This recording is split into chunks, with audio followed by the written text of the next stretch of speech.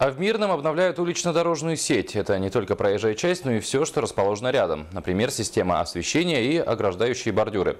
На эти цели городская администрация выделила несколько десятков миллионов рублей. Роман Муконин узнавал, как изменится облик города в ближайшее время. Городская администрация реализует масштабную программу по замене бордюров вдоль улиц. Бетонные блоки, ограждающие дорожное полотно, пришли в негодность. Местами просели или совсем развалились. Они больше не исполняют свою главную функцию по удержанию почвы. Она просыпается на дорогу и создает много проблем дворникам.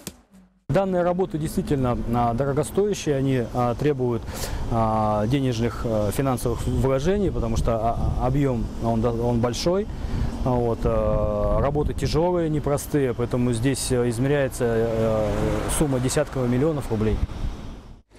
Замену бордюров ведут на улицах Павлова, Ленинградский проспект, 50 лет октября, Тихонова и Советская.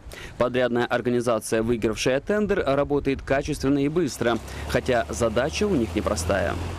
Конечно, много сложностей своих. Нужно выдернуть старые бордюры.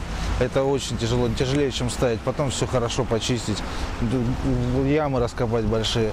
Потом ставим бордюры по 200 килограммов четвером, то есть сами понимаете, метр всего лишь бордюра, а нужно поставить 2 километра в этом, в этом сезоне. В рамках этой же программы строят новые тротуары и благоустраивают дворовые территории.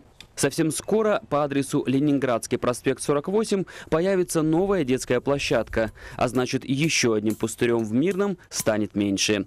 Роман Муконин, Тимур Ширижик, телеканал «Алмазный край».